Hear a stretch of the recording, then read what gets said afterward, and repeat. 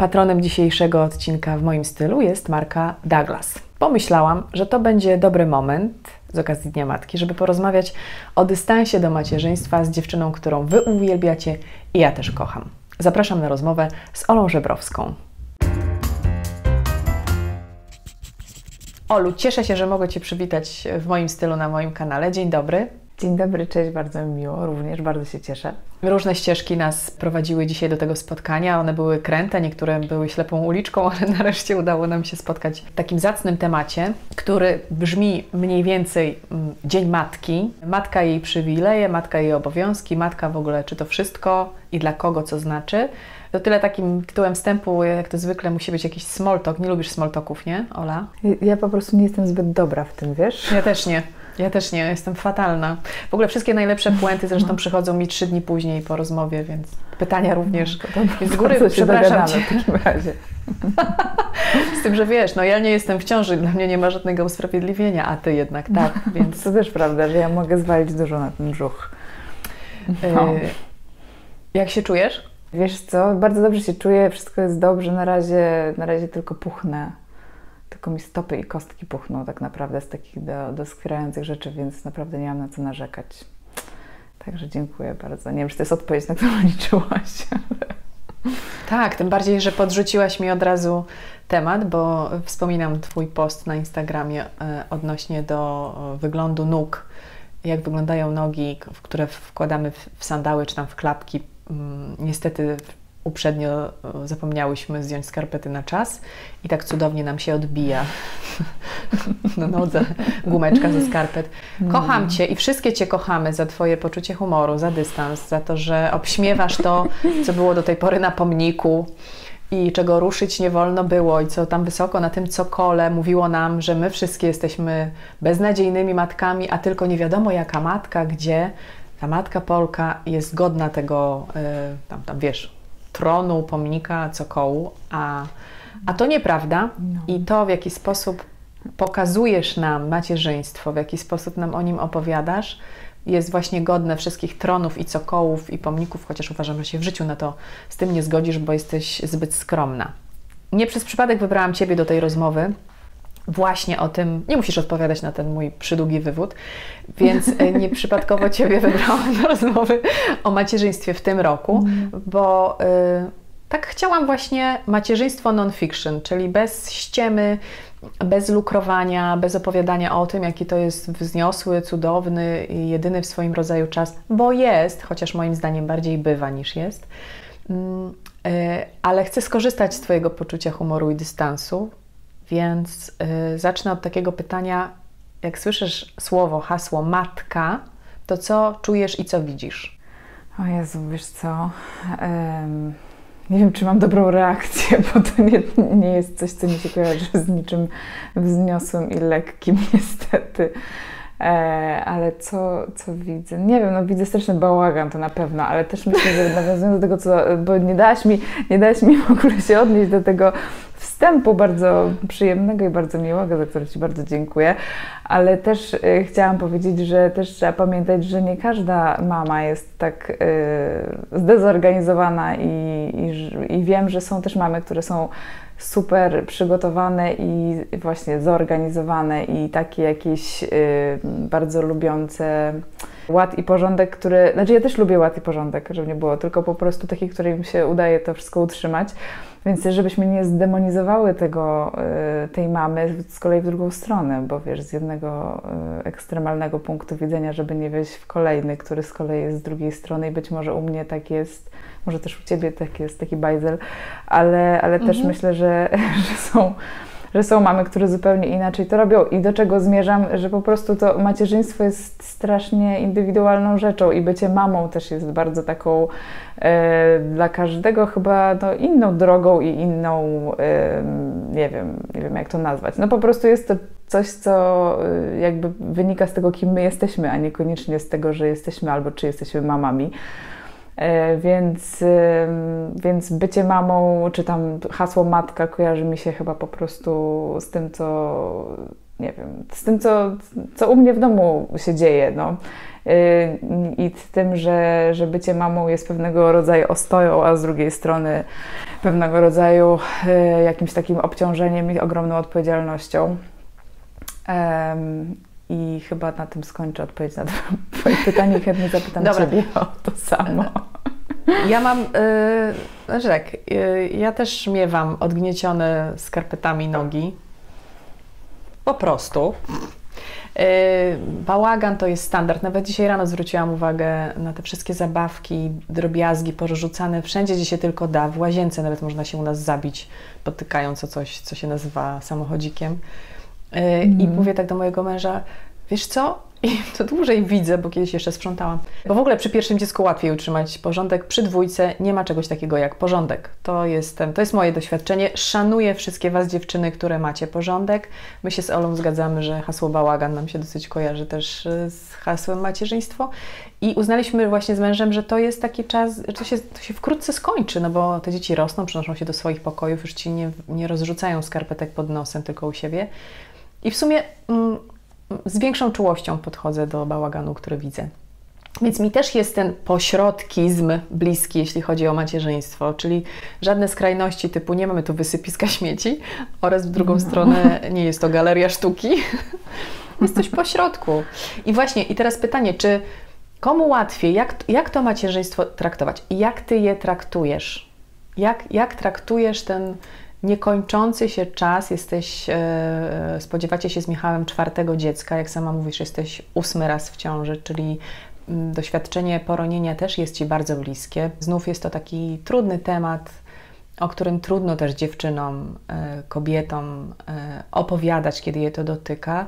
Ten temat też obrałaś z tabu i też jesteśmy Ci za to bardzo wdzięczne. Mm, ale wracając właśnie do tej myśli początkowej, ten pośrodkizm, tak go sobie nazwałam roboczo, jak nie zwariować w byciu mamą? Jakie masz patenty? To jest do mnie, wiesz co, ja w ogóle unikam dawania rad dotyczących macierzyństwa w jakikolwiek sposób, bo, bo naprawdę bardzo dużo zależy tylko od tego, kim my jesteśmy jakich mamy, albo czy mamy partnerów, ale też jakie mamy dzieci. I e, naprawdę jest ciężko chyba e, tak zwane rady aplikować do swojego życia, kiedy każdy z nas ma zupełnie co innego w domu i jakby podane na talerzu. Bardziej chodzi mi w tym pytaniu o to, żebyś powiedziała, jakich masz, jakie masz patenty albo jakich e, używasz narzędzi, tu duży cudzysłów, do tego, żeby wszystko to, co jest Twoją rolą w byciu matką, po prostu ogarniać i to jeszcze z tym Twoim poczuciem humoru z dystansem. Czy to jest, przychodzi Ci naturalnie, czy sama się tego uczyłaś?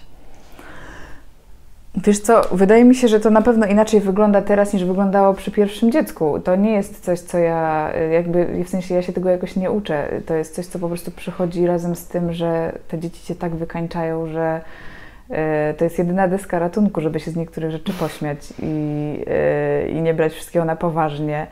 Co prawda tutaj Michał pewnie by się ze mną nie zgodził, ale ja na przykład, mimo że staram się być bardzo punktualna i naprawdę robię wszystko, żeby się zorganizować, to jak już wiem, że jest coś nawalone i że nie będę punktualna, to staram się tym aż tak nie przejmować. To może nie brzmi zbyt profesjonalnie, ale po prostu jak już wiem, że dałam z siebie wszystko i się nastarałam, a dziecko ci w połowie po prostu wyjścia y, drze jabłkę i i nie ma jak go wyciągnąć z tego domu, to po prostu nie, jakby, no, jakby na początku mnie to strasznie stresowało i byłam strasznie zła po prostu i miałam zepsuty humor i wszystko było, się waliło, bo to e, gdzieś tam w głowie mam, że to świadczy o tym, jaką jesteś mamą, a potem chyba to się do tego człowiek przyzwyczaja i też widzi to, że to nie jesteś jedyną osobą, której się to przydarza i że po prostu ludzie też są bardzo wyrozumiali i przestają cię takie kłopoty stresować, no. Także nie chodzi o to, żeby w ogóle odpuścić na zasadzie zasadzie, że w ogóle wszystko masz gdzieś i nagle jesteś osobą, do której wszyscy mają się dostosowywać, tylko żeby po prostu wiedzieć, że jak się coś wali, to to, to nie jest jakiś koniec świata. Bo możemy sobie same, my kobiety sobie same wymyślamy te końce świata. W jakiś sposób jesteśmy przekonane o tym, że um, opóźnienie, nie wiem, niedotrzymanie obietnicy to nas jakoś obciąża. E, ja się zwolniłam z takiego myślenia.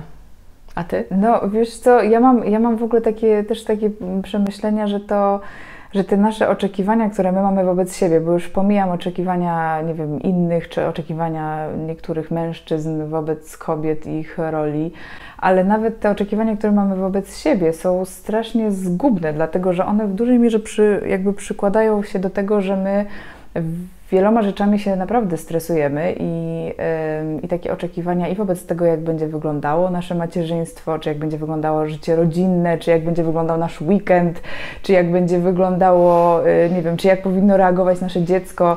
Jak masz, yy, wiesz, w głowie coś takiego, że trzyletnie dziecko powinno się cieszyć z tego, że zabierasz je na placyk akurat tego dnia o tej porze, a, a, a to dziecko po prostu no, nienawidzi tego pomysłu i się, i się rzuca na ziemię i zamiast docenić to, że zorganizowałaś mu super wyjście, to, to nagle po prostu jest wściekłe i ty, yy, a, a, w Twoich oczekiwaniach ono powinno być inne i reagować adekwatnie, czyli tak jak osoba dorosła, czyli docenić to, że go ubrałaś, Oczywiście. wyszłaś, nakarmiłaś, dałaś ulubionego banana i to pokrojonego w plastry, a nie w całości i tak dalej, no to wszystko to się, yy, to, to jak to przykładasz na to, że to dziecko powinno w jakiś tam sposób reagować, to w momencie, kiedy nie reaguje, to po prostu ta frustracja rośnie bardzo szybko. A jak mam wrażenie, że jak przestajemy y, mieć takie oczekiwania wobec dzieciaków, czyli właśnie wobec tego, jak one powinny reagować i zakładamy, że to po prostu nie jest człowiek dorosły i że to jest y, no taki, taki, taki ktoś, kto sobie, nie wiem, ubzdura różne rzeczy, jeszcze jak y, na przykład Felek teraz jeszcze nie mówi, więc ja już w ogóle nie wiem, co on ma na myśli. No po prostu ma,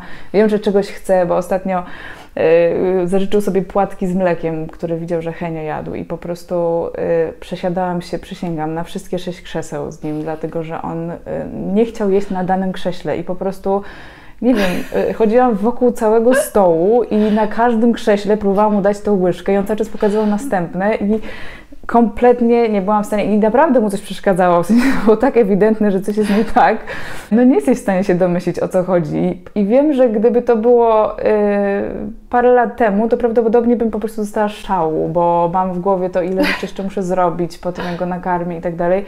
Y, I że mnie to no, denerwuje, że po prostu nie ma powodu, tak? No bo jakby wiadomo, że dla nas nie ma znaczenia, na jakim krześle zjemy płatki. E, a że gdzieś tam coś, miał, coś miał konkretnego na myśli i jakiś plan do zrealizowania. I gdzieś mnie to zaczyna w jakimś stopniu po prostu bardziej bawić. I ja po prostu wiem, że muszę zamienić się w zupełnie innego człowieka nagle i po prostu mu te krzesła podsuwać i się przesiadać z nim. I, e, i, i to trwa naprawdę dużo krócej. Ja nie jestem w złym humorze, tylko po prostu sobie myślę, że no to taką jazdę dzisiaj mamy. E, I to bardzo pomaga. I wydaje mi się, że jest jakieś takie uwalnianie właśnie, że, że jak przestajemy myśleć o tym, że to dziecko powinno się tak zachować albo e, w konkretny sposób reagować na nasze różne pomysły, to jest po prostu łatwiej się do tego dostosować bez tej mhm. frustracji, która i tak no, końcu się gdzieś pojawia, ale może trochę później, może mniej intensywnie. I... Więc nie wiem, czy to jest rada, czy to jest mój sposób, ale po prostu Boska ta historia z przesiadaniem się na następne krzesła. Już widzę ten mem. Świetna. E, ale gdzieś ostatnio przeczytałam, że jak chcesz coś właśnie uzyskać od swojego dziecka, to działają tylko trzy metody. Groźba, szantaż i przekupstwo. Co stosujesz? Bo ja wymienię. Ja przekupstwo, Jezu, naprawdę często niestety. E, no. Szantaż, czy ja wiem? No też w sumie ze starszymi. No niestety, nie wiem. Ja no zgadzam tak. się z tym, co powiedziałaś. Po ja prostu. się przyznaję do wszystkiego. Niestety nie mogę się y, tak, nie mogę tutaj bardzo y, odpowiedzialnie społecznie chyba się wypowiedzieć, niestety. Ja uważam, że po prostu w pewnych momentach się nie da.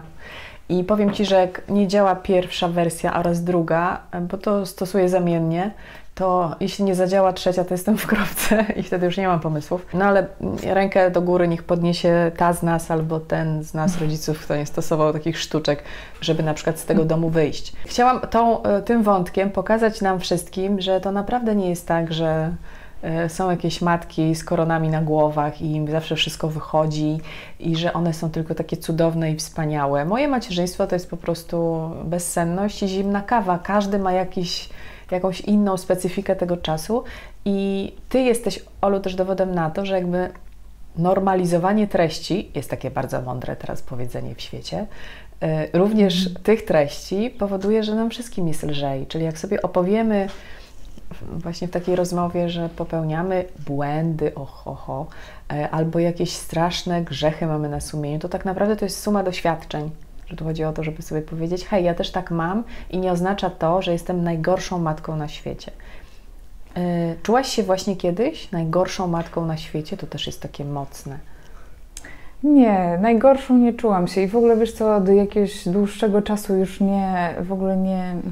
Jakby też myślę, że y, być może dzięki właściwie social mediom i tym, że jakby mamy dostęp do treści, że ludzie się dzielą tym, co się dzieje u nich i to nie jest wszystko jakby y, nie wiem, skazane na to, że, y, że o macierzyństwie wiemy tylko to, co czytamy w książkach albo w, widzimy w magazynach, gdzie, gdzie wszystko jest takie właśnie wymuskane, idealne bo jednak y, skrolując nawet sobie przez te Instagramy, no wpadamy na przeróżne y, profile i masz i to właśnie cudowne macierzyństwo i takie, które jest y, najgorsze na świecie i i wydaje mi się, że to pomaga się tak nie oceniać strasznie, więc ja rzeczywiście dawno nie miałam takiego, takiego poczucia, że jestem najgorszą mamą. Już od dawna nie mam takich myśli nawet.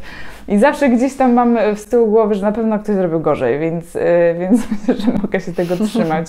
I każda z nas myślę, że też e, przy takich, e, nie wiem, niepowodzeniach może spokojnie właśnie sobie gdzieś tam mm, pomyśleć, że na pewno, na pewno bywa gorzej i że to naprawdę większość z nas tak ma i że to w ogóle jest najgorsze, co możemy robić, że, że w większości takich przypadków trudnych to gdzieś sobie myślimy, że tylko my tak robimy, albo tutaj my tak mamy, albo tylko my mamy takie reakcje, albo tylko my się tak wkurzamy na te dzieci.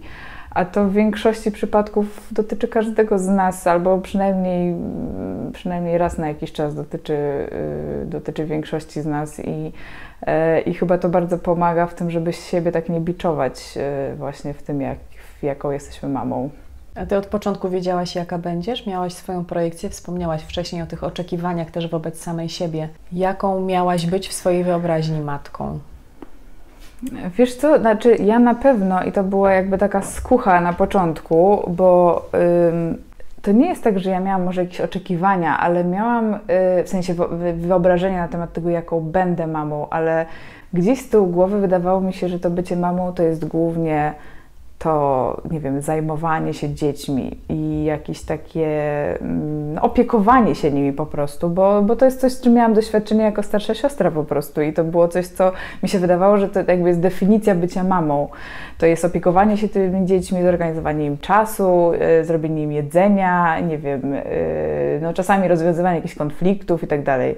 Tymczasem właściwie to, co chyba mnie najbardziej uderzyło, to jest to, że to się wiąże też z ogromną ilością jakiejś takiej odpowiedzialności, na którą ci nikt nie szykuje i w ogóle ogromną ilością takich fakapów, no nie wiem jak to, może brzydkie słowo, y, jakichś takich niepowodzeń, które, które cię, wiesz, do, y, y, no, które, które są związane i z, ze zdrowiem dzieci, i z jakimiś no, przypadkami, ty w ogóle doświadczeniami, których ty doświadczasz, niezależnie od tego, czy masz te dzieci, czy nie, ale po prostu każdy z nas ma też swoje życie i swoje doświadczenia, w których no, musi sobie radzić, niezależnie od tego, czy akurat jest mamą, czy nie jest mamą. E, a to w połączeniu z tym, e, z tym ciężarem i z tym obciążeniem e, tego, że jesteś odpowiedzialny za nowego człowieka, naprawdę potrafi dać w kość. I, I wydaje mi się, że to dla mnie jakby te wyobrażenia się kompletnie minęły, bo po prostu ja tego w ogóle nie brałam pod uwagę. W sensie to było dla mnie mhm. takie jakieś no, zaskakujące, że, że, że, nie, że, że to nie, właśnie nie na tym polega bycie mamą, że tylko musisz gotować obiad i ubrać dziecko i wyjść z nim na spacer tylko właśnie, że jest mnóstwo wszystkiego naraz i, i, w, i w ogóle wydaje mi się, że kurczę, ja ostatnio słyszałam, już nie pamiętam gdzie to było, ale że właśnie ktoś mówił, że że jako my, jako dzieci w ogóle też nie zdajemy sobie sprawy z tego, że dorastając jesteśmy świadkami tego, jak dojrzewają nasi rodzice.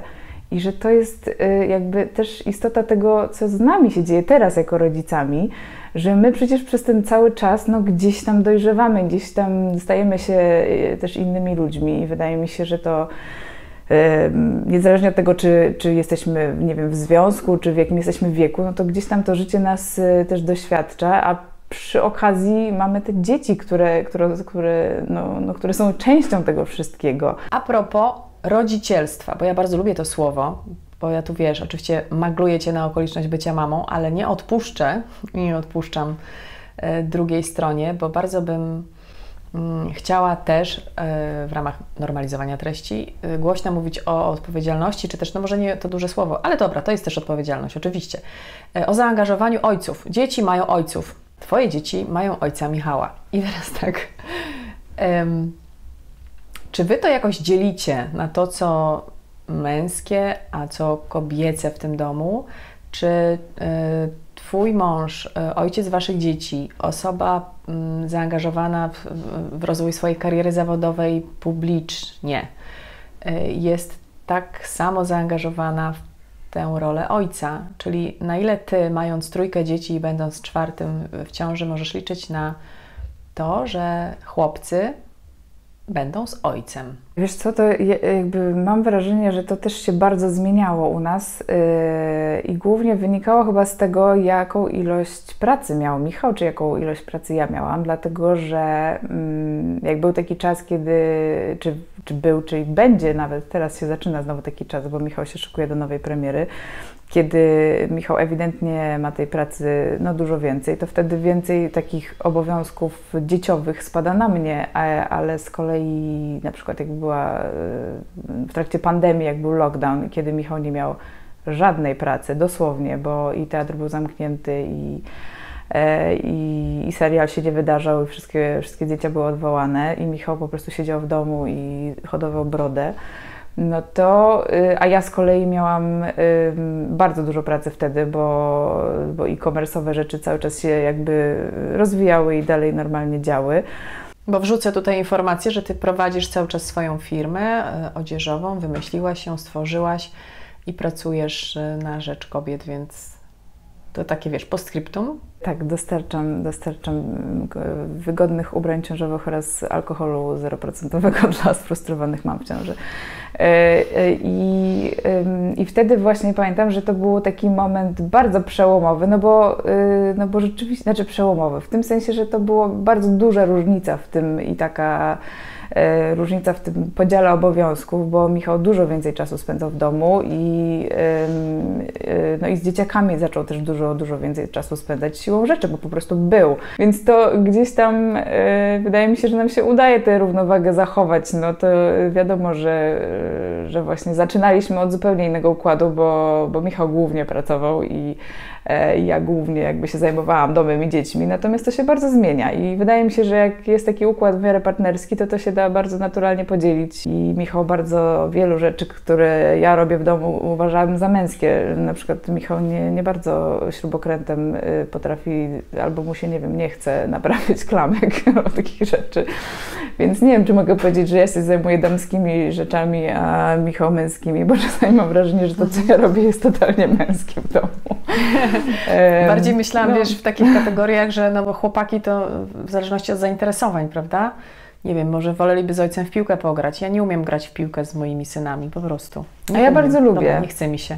Tak? A, ja bardzo lubię. Ja teraz nie mogę w ciąży za bardzo, bo oni też już są silniejsi i to trochę jest jednak, jak sobie pokopałam piłkę właśnie z Heniem ostatnio, to potem miałam po prostu y, skurcz w brzuchu przez pół dnia, bo to y, niestety nie jest już coś, co mogę robić i biegać też nie za bardzo mogę.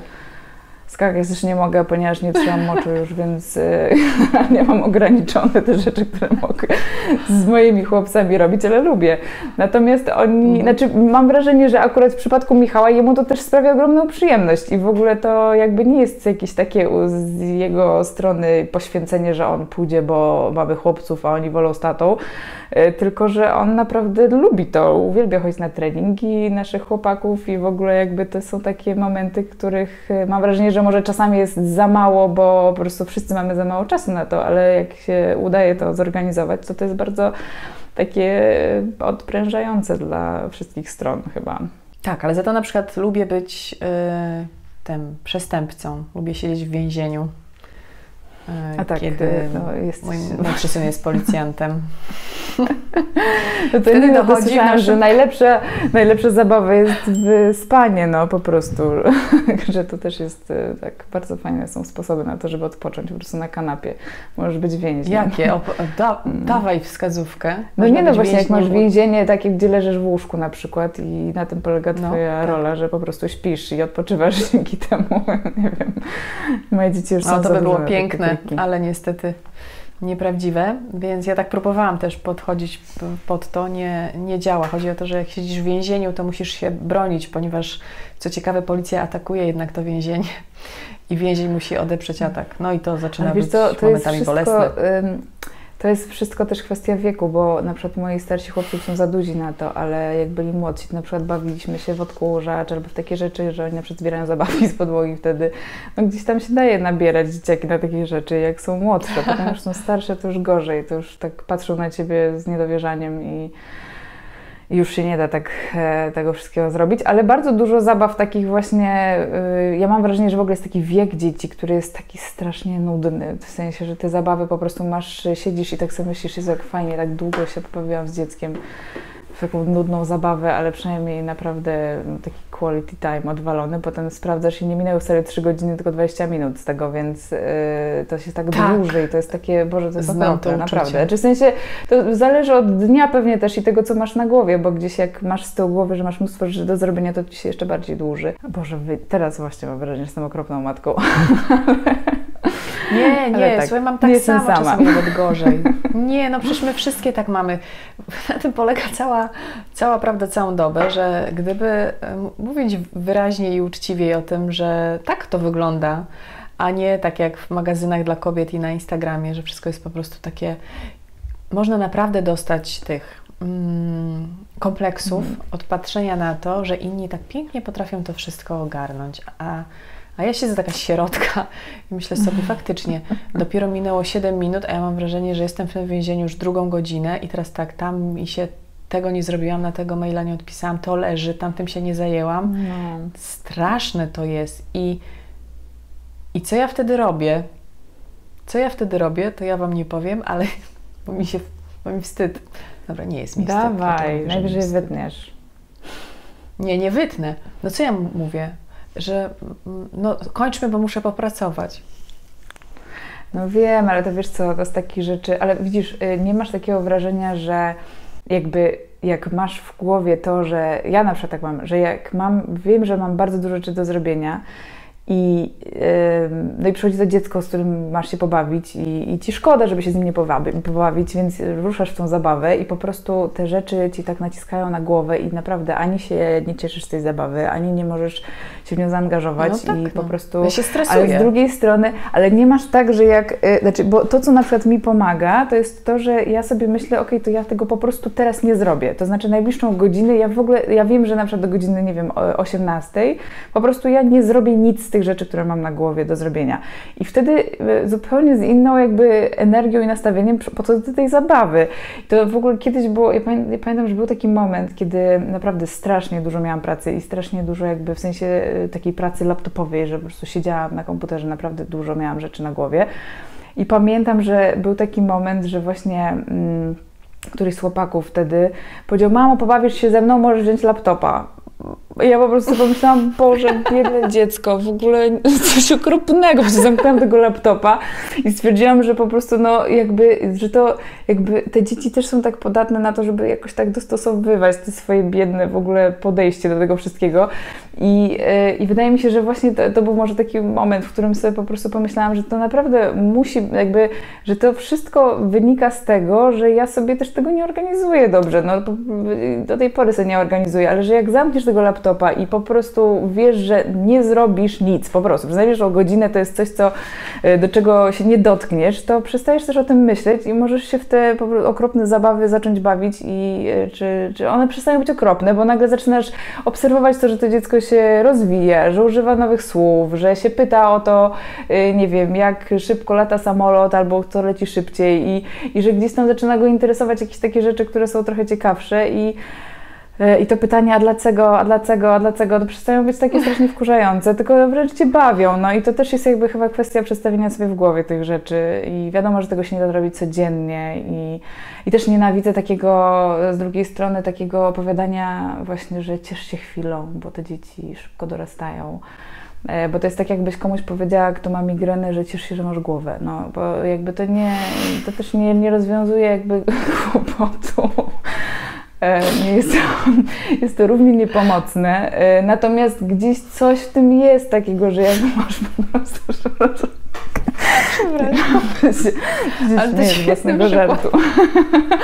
Ale ale tak, jest coś takiego, że po prostu jak sobie to w głowie przestawisz, e, to na pewno jest łatwiej jakby skupić się na rzeczach, które na przykład Cię bawią w tym dziecku. No i ja na przykład mnie dzieci rozbrajają też czasami i wiem, że to samo, ta sama rzecz, którą powiedzą w ten sam sposób i to samo pytanie zadane, potrafi mnie albo po prostu wykończyć, albo naprawdę rozbawić do łez, w zależności od tego, jak ja się nastawiłam wcześniej do tego czasu spędzonego z nim. Przyznaję, że używam tego sformułowania, bo mama musi popracować, naprawdę wtedy, kiedy ja potrzebuję tego pół godziny, bo ja mam trochę inaczej z moimi dziećmi, jeśli, no bardziej z tym młodszym, bo ten, ten starszy już jest po prostu, wiesz, człowiekiem, który powoli ma już swój świat. Chyba tych starszych synów mamy w podobnym wieku, prawda? 11, ty masz 12-letni, jest tak? Mhm. Najstarszy jest tak, Franek. Mhm. E, więc już to trochę, to już jest takie dziecko, które trochę odpłynęło, e, chociaż nadal te relacje są bliskie, ale ja nie muszę mu wymyślać zabaw. No mhm. tak. To jest duża ulga. Natomiast to młodsze y, tak lubi ten czas wiesz, mhm. policjanta i więźnia, że właśnie w mhm. nieskończoność.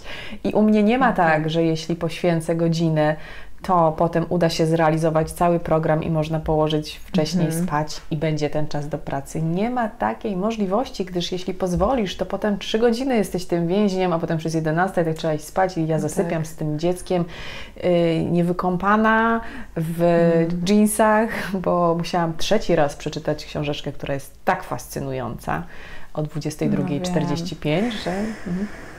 że nigdy dość. Yy, I wtedy po prostu no cóż, no kończy się tym, że jestem dwa dni do tyłu. Taka jest prawda. Ale Wiem, dobra, chodzi o. No tak. No, no, no chodzi o to, żeby powiedzieć, że no, wszyscy tak mają.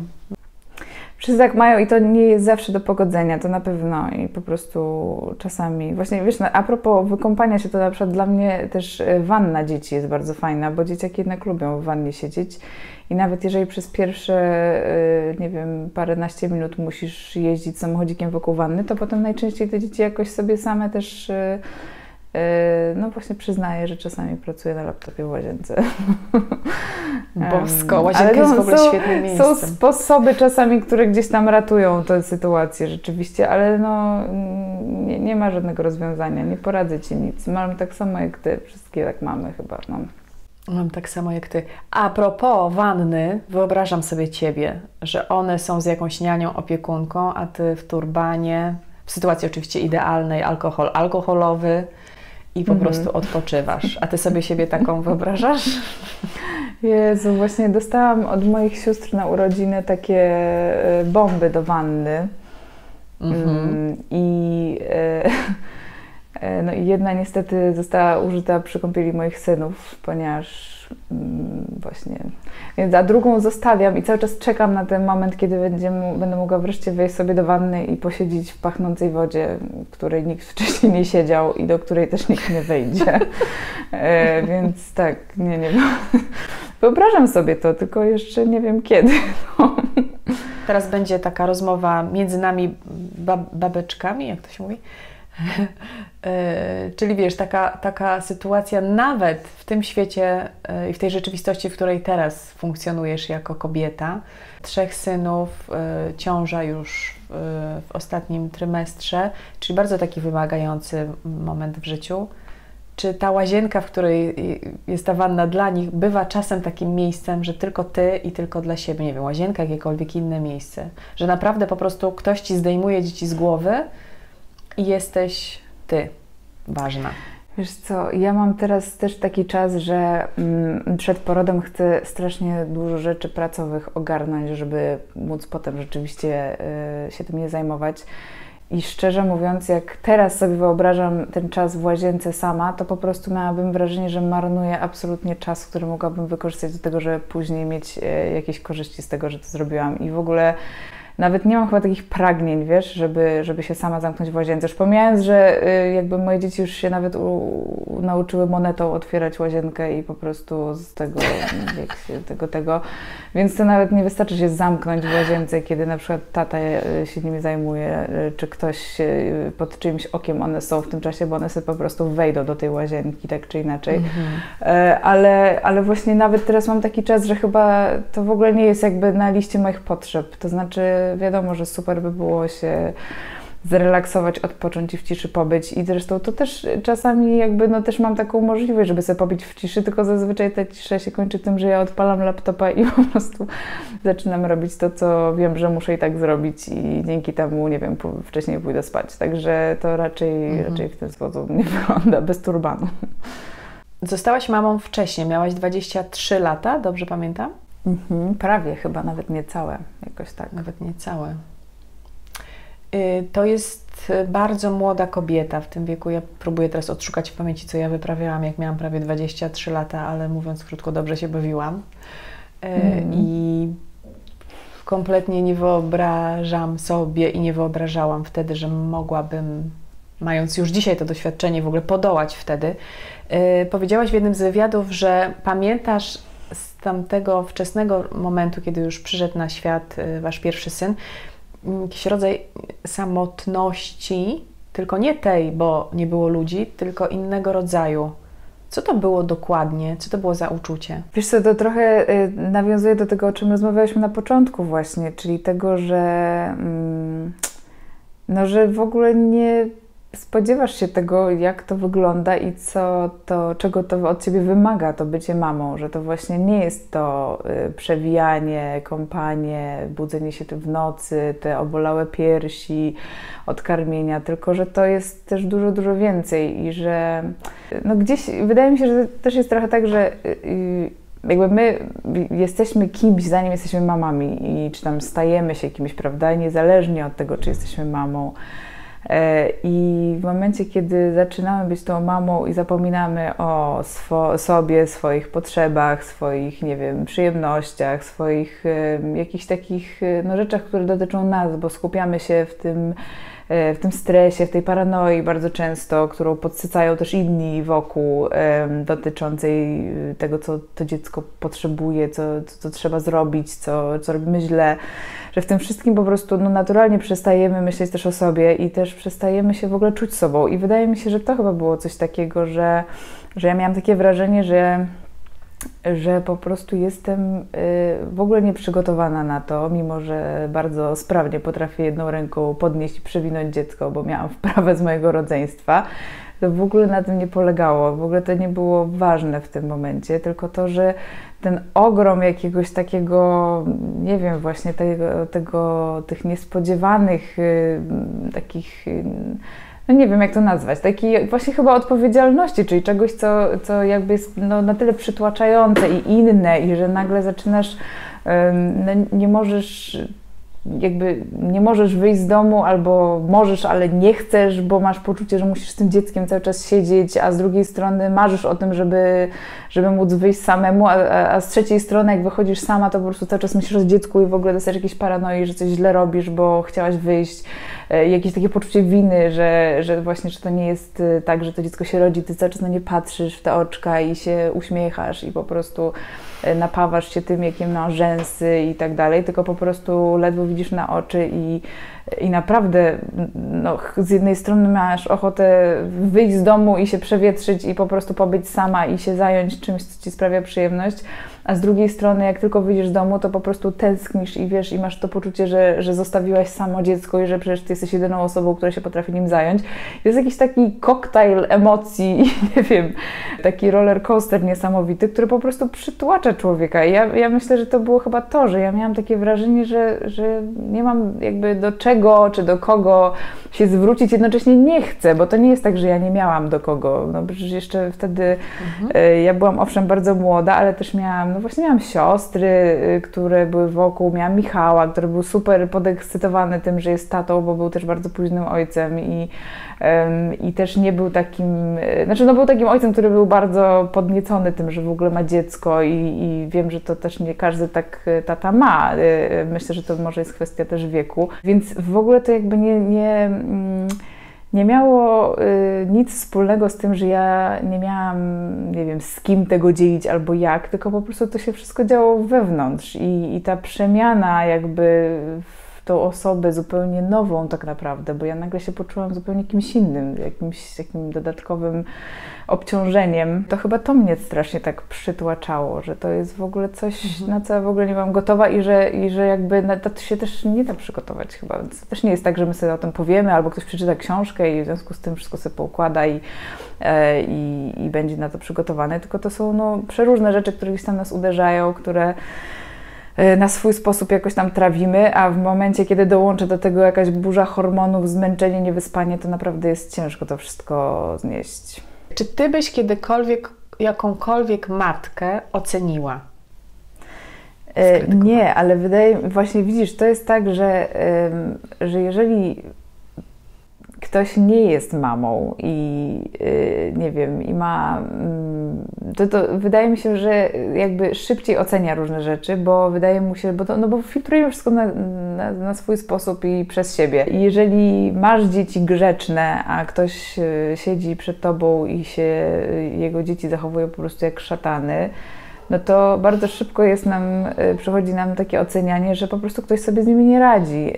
Y, natomiast jak ci się urodzi taki mały szatan, to na przykład jako drugie dziecko, albo w sensie, że masz i takie, i takie, no to te oceny zaczynają być, przychodzić trochę później i trochę z większym y, mm, jakimś takim, trochę wolniej może, y, bo, no bo po prostu wiesz, że to wcale nie jest kwestia tego, że ktoś jakąś jest mamą, że tak robi, że tak się zachowuje, że tak woli, że, takie ma, że takich wyborów y, dokonuje. E, tylko w dużej mierze to jest jakby taka zbitka różnych rzeczy, e, łącznie z charakterem dzieci, z tym, czy ktoś ma pomoc w domu, czy z tym, czy ktoś ma partnera, na którego może liczyć, z tym, czy ktoś w życiu prywatnym sobie akurat radzi, czy nie radzi. Po prostu jakby ta e, więcej takiej wyrozumiałości się w, wdaje chyba w nas i w, te, i w te oceny. I po prostu te oceny przychodzą, znaczy jakby potrzebujemy dużo większych ilości bodźców, żeby, żeby taką ocenę wydać wydać i wydaje mi się, że to jest też bardzo uwalniające, y, żeby tych ocen nie wydawać. Nie wiem, czy to odpowiada na Twoje pytanie i też nie chcę powiedzieć, że jestem jakaś tutaj święta, no wiadomo, że jak widzę y, coś, co mnie, nie wiem, razi albo czego bym nigdy nie zrobiła, no to wiadomo, że pierwsze rzecz mi się nasuwa, że, że gdzieś tam y, to na swój sposób filtruję i myślę sobie o tym, żebym tak nigdy nie zrobiła albo że ta ja bym zrobiła tak i tak. Natomiast przynajmniej staram się tego nie mówić na głos i chyba wiem, że jakby gdzieś bardzo doceniam to. Um, Ostatnio, właśnie mi się przypomniało, że ostatnio szłam y, na spacerze, byłam z Felkiem w wózku I miałam spotkać się z Michałem, który z kolei szedł z dwójką naszych chłopaków, wracał z jakiegoś tam treningu czy skądś. I, yy, i szłam z. I miałam się z nim dzwonić, żeby, żeby się dowiedzieć, gdzie oni są, żebyśmy się złapali jakoś tam w połowie, coś. I, i szłam, kurczę, przysięgam, po prostu miałam super dzień taki yy, właśnie, yy, w którym z Felutkiem sobie gadałam, w ogóle on coś tam pokazywał, coś tam. I wzięłam ten telefon do ręki, żeby do Michała zadzwonić. I mówię, no gdzie jesteś, bo, się, bo idę. I w tym momencie z naprzeciwko naprzeciwko szła jakaś pani z trzema psami yy, i, i powiedziała coś na zasadzie z dzieckiem porozmawia zamiast przez tą komórkę. Yy, no i ja po prostu, ja się zorientowałam, w ogóle, w ogóle nie zorientowałam się, że ona do mnie mówi na początku, no bo ustalałam z Michałem, gdzie mam się z nim spotkać za chwilę, żeśmy się nie minęli ale potem po prostu za chwilę się zorientowałam, w ogóle się odwróciłam, bo zobaczyłam, że to w ogóle było do mnie chyba. Natomiast pomyślałam, Boże, po prostu jak, jak ludzie mają jakieś takie mm. szybkie i nie wiem, jakiś taki taki, taki, jakieś, taką potrzebę, żeby komuś zwrócić uwagę. I gdzieś pomyślałam sobie, że ta pani może po prostu naprawdę, nie wiem, może sama ma jakieś wyrzuty sumienia, albo może rzeczywiście widzi cały czas matki, które są wiecznie w telefonie siedzące i nie wiem, i nie zajmują się dziećmi, które są z kolei z tego powodu jakieś smutne. Natomiast y, po prostu strasznie mnie to razi i, i wydaje mi się, że naprawdę staram się, być może mi to zawsze nie wychodzi, ale staram się naprawdę takich ocen nie wydawać, bo to jest tak głupie i takie jakieś niszczące. I pomyślałam sobie, że gdybym ja była 23-letnią mamą wtedy, to bym prawdopodobnie, nie wiem, zrobiło mi się strasznie przykro, albo nie wiem, właśnie bym miała jakieś wyrzuty sumienia, albo bym sobie pomyślała, Boże, co ta pani sobie o mnie myśli, że ja siedzę cały czas na telefonie. Y, a po prostu teraz sobie pomyślałam, że naprawdę, znaczy mnie to wręcz, wręcz mnie rozbawiło, że, że ta pani miała jakąś taką potrzebę, żeby mi zwrócić uwagę w ogóle i że nie wiem, że ją jakoś to interesowało, co, co nie wiem, czy, czy, czy współczuła temu mojemu Felkowi, który się świetnie bawił w wózku i w ogóle był szczęśliwy. E, ale to jest jakieś takie, y, znaczy tak, tak mnie to razi, jak inni to robią, że naprawdę staram się tego sama nie robić, więc być może mi to zawsze nie wychodzi, bo, bo to, tak jak powiedziałaś, jest jakieś atawistyczne, żeby takie oceny gdzieś tam wy, w głowie sobie wymyślać, ale może jak one zostają w głowie, to jest chyba bezpieczniej dla wszystkich. No, z dzieckiem byś porozmawiała, a nie z telefonem. Urocze. Bardzo. Chciałam powiedzieć, że niestety, ale on nie rozmawia, więc niestety jeszcze nic nie mówi, więc nie mogę nim porozmawiać. Trzeba było krzyknąć za panią. Wie pani, bardzo bym chciała, ale syn jeszcze nie mówi. Dostał mój telefon. Ale wiesz co, to a propos też tego, powiem Ci, że to też jest jakby, myślę, że ważne, że kurczę, czasami ta mama siedząca w telefonie na ławce w parku, zamiast się bawić z dzieckiem albo aktywnie po prostu bić brawo za każdym razem, jak ona zjedzie z zjeżdżalni, naprawdę czasami to jest jedyny czas, kiedy taka mama może sobie po prostu się zrelaksować i pogapić w telefon. I to też jest ok. Olu, na koniec pytanie o, o Twoje piękno. Yy, jak sobie tak wyobrażasz idealny dzień matki, to jakie masz na sobie maseczki, kosmetyki, pomadki, wiesz, te loki, czego ty tam jeszcze potrzebujesz? Coś tak naturalnie piękne. Niczego nie potrzebuję, ale gdybyś tak chciała sobie poszaleć, to czym się, jakim brokatem się obsypiesz? Wiesz co, ja mam, y, ja mam, y, znaczy w ogóle nie jestem dobra w tych, y, w tych rzeczach, żeby je tak jakoś regularnie robić i być może dlatego ja strasznie się jaram tym, jak coś wreszcie sobie nałożę, dlatego że mam różne takie jakieś maseczki takie, i, zrobiłam sobie ostatnio taką, taką rutynę, że właśnie położyłam najpierw jakiś taki olejek, który coś tam zmywa, y, później, później jakiś peeling do twarzy, później maseczka, później krem. To były cztery rzeczy. I pamiętam, że y, robiłam to z takim y, prześmiewczym podejściem, że dobra, zrobię, bo mam chwilę, a nie robiłam tego z rok. I powiem Ci, że byłam zachwycona tym, bo chodziłam cały czas, dotykałam sobie policzków, bo one były takie mięciutkie, jakieś inne, jakaś taka cała ta moja roz, po prostu zjarana przez słońce, bo ja wychodzę, po prostu niestety wystawiam się na słońce zupełnie nieprofesjonalnie. Pani dermatolog, do której chodziłam, nienawidzi w ogóle tego widoku, że jestem opalona w jakikolwiek sposób, a ja nawet jak siedzę gdzieś, to wystawiam nogi tak spod parasola na słońce, żeby się cały czas opalać i rzeczywiście to wszystko jakoś tak mi mi się y, zrobiło, znaczy po prostu zaczęłam, widziałam naprawdę różnicę, więc myślę, że jak ktoś potrafi i ma czas, żeby to robić regularnie, to jest naprawdę super. Ja się z tym strasznie, strasznie zajerałam, więc może, może rzeczywiście sobie na dzień mamy odpalę taki zabieg, y, którym położę wszystkie cztery rzeczy na siebie znowu y, i będę potem się pół dnia dotykać po twarzy, żeby widzieć, jak jestem kładziutka. Ale tak. No dobrze, słuchajcie, wszystkim nam życzę tego dystansu do siebie i świata i macierzyństwa, który ma Ola Żebrowska. Tobie bardzo dziękuję, że się tym dystansem dzielisz, spuszczasz balonik e, napompowany do niemożliwych rozmiarów tego mm, macierzyństwa wersja deluxe. Więc y, każda mama jest wystarczająca i pamiętajmy jedno: nasze dzieci nas kochają naprawdę za nic naprawdę za nic. I tak jesteśmy najfajniejsze dla nich. To prawda, zgadzam się. Chyba, że jesteśmy najgorsze, bo to też słyszałam. Nie słyszałeś, że jesteś najgorsza? Mamo, jesteś najgorsza, mamo. Nie, no. ale słyszałam inną wersję tego. Słyszałam inną wersję typu no. mm, y, jesteście beznadziejnymi rodzicami, chciałbym mieć nowych. No, no. no to ja wtedy ze śmiechem tak, odpowiadam, no. proszę. No. Szukaj. Ja też tak kiedyś powiedziałam. Ja powiedziałam, że ja poszukam. To jest jeszcze bardziej przerażające. Jesteś lepsza.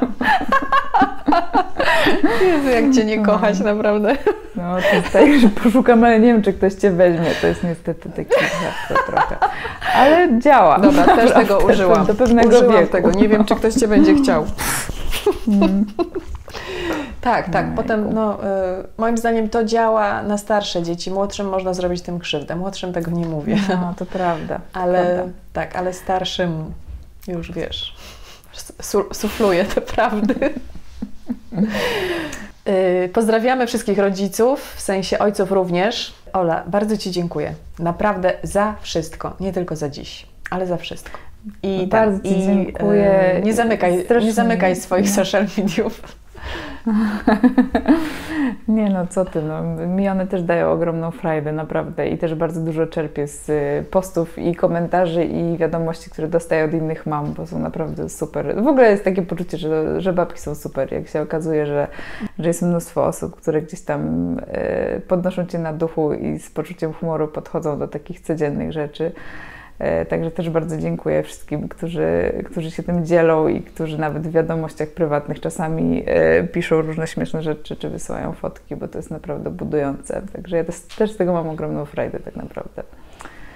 E, Bardzo Ci dziękuję i bardzo dziękuję za wszystkie miłe słowa. W moim kierunku bardzo mnie podbudowałaś i no, idziemy coś zjeść. O tak, o, o tak. Dobrze, to baw się dobrze nie tylko w Dzień Matki, po prostu zawsze. Całuję, dziękuję. Dzięki, całuję, papa, do usłyszenia. Dziękuję bardzo za dziś. Już zapraszam na następny wtorek, a tymczasem e, chętnie poczytam Wasze komentarze. Mam nadzieję, że będziecie subskrybować także kanał w moim stylu, bardzo na to liczę e, i na łapki w górę też. Całuję i do zobaczenia.